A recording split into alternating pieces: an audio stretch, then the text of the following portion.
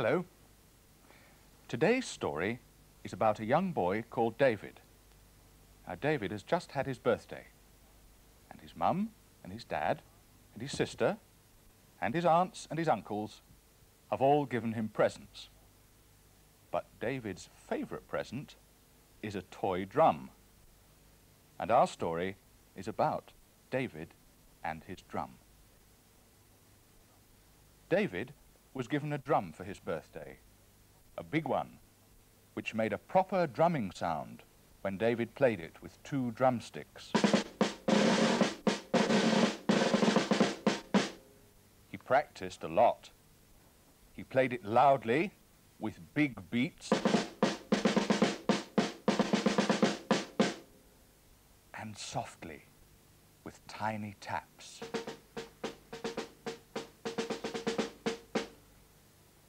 Played it slowly,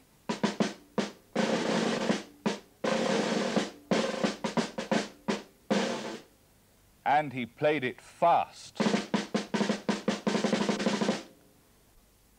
This drum, said David, is the best present I ever had in my whole life.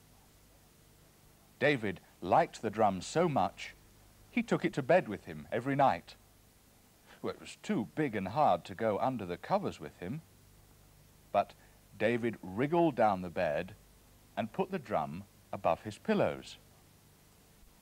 He could reach up and tap the drum gently with his fingernails to say good night before he went to sleep. Then, as soon as he woke up, he drummed good morning on the drum. When he was dressed, David drummed himself downstairs, stepping slowly to the beats.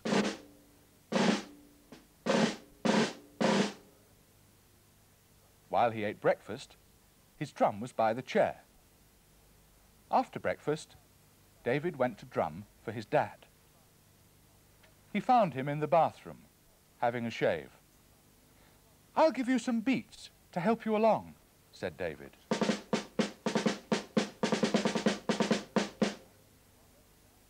But after a while, his dad said, David, I can't do shaving with that noise.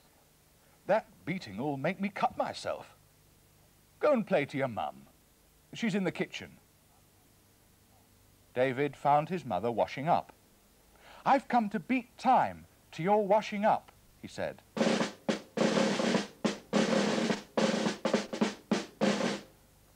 But after a while, his mum said, Well, thank you, David.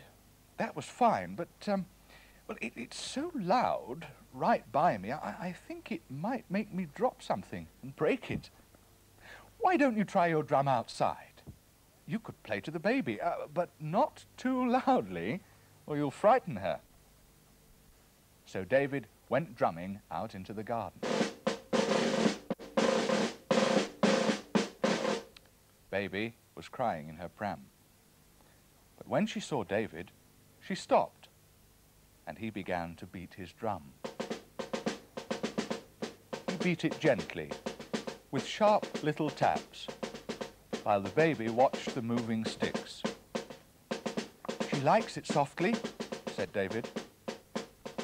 He stood drumming, while the baby lay watching.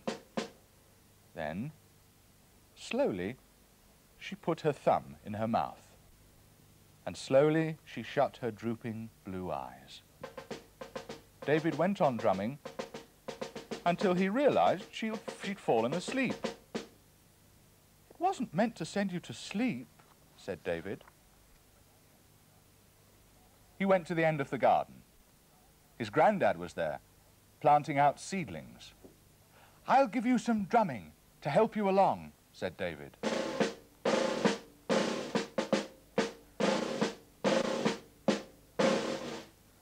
Tried to drum in time to his granddad, but the job was so slow it didn't really work. Grandad took a tiny plant, made a hole in the ground, then very gently put the plant in and pressed the soil round it. I don't think it's drumming sort of work, said David, and went back into the house. His sister was going for a walk with her friend. Shall I come along and, and, and drum you along? asked David. No, thanks. We're going for a stroll, said his sister. We don't want to march along like a pair of soldiers. Soldiers, said David. Oh, I wish some soldiers would come along. He went to find their little dog. His name was Dougie. Perhaps I could teach him to march behind me, said David.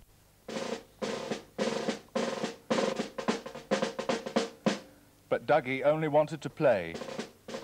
He barked at the drumming and jumped up at the drumsticks till David had to give that up. David played with his toys for a while, but he was thinking of drumming all the time.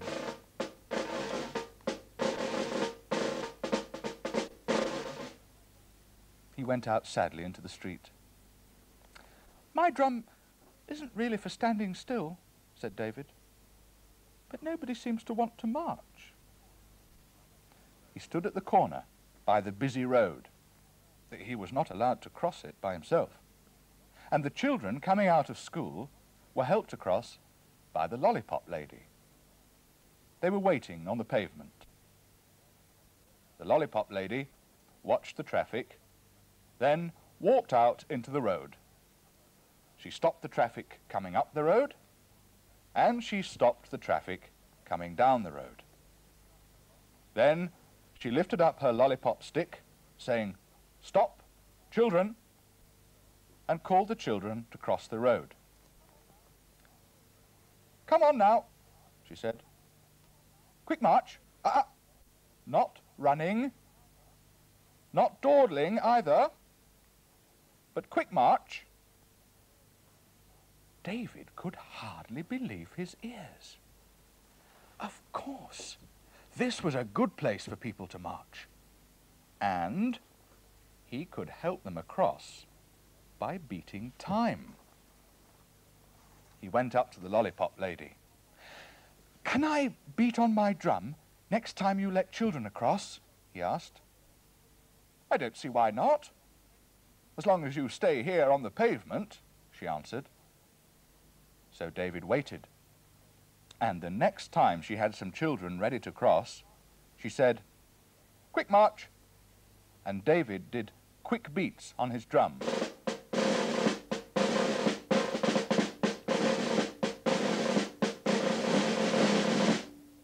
The children liked marching to the drum. And when they had all come out of school, and the lollipop lady had finished her job, she said to David, I've never seen them cross better, all stepping smartly along. You can come and help me any time. I only live round the corner, said David, so I'll, I'll drum them across another day.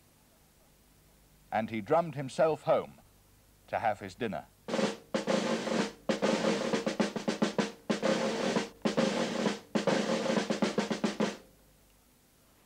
Hope you enjoyed that story. That's all we have time for today, but uh, I look forward to reading you another one, another time. So till then, goodbye.